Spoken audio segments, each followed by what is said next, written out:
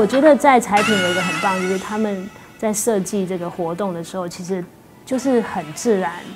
是不说教，那让孩让这些青少年他们可以很很快，而且很喜欢融入。那就举我女儿有一个例子来讲，就是她在一个聚会里面，就是她说上帝又让她看到一一个女孩子的一个画面，一直出现在她眼前。那上帝告诉她说，这个人很孤单。之后的这个一个小天使跟小主人的活动当中，他刚好就抽到那个女孩子的名字，所以他就会觉得说，诶，就找到一个机会可以去帮助他，所以这个也会帮助他之后就会多一个想要多个勇气，想要跨出去去帮助一些有需要的人。因为在彩品里面，呃，透过一些呃很自然的一些活动。他们就会养成一些很好的一些品格。啊，另外一方面呢，因着这些活动跟这些啊弟兄姐妹在一起，那其实他们彼此熟悉之后，那就成为一些很好的一个属灵的伙伴，能够彼此鼓励，然后彼此支持这样子。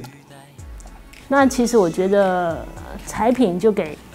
给青少年觉得说好玩有趣。那我觉得还有一个是说同才这样的一个友谊，或是同才这样的一个行动，我觉得可以让。父母可以比较放心。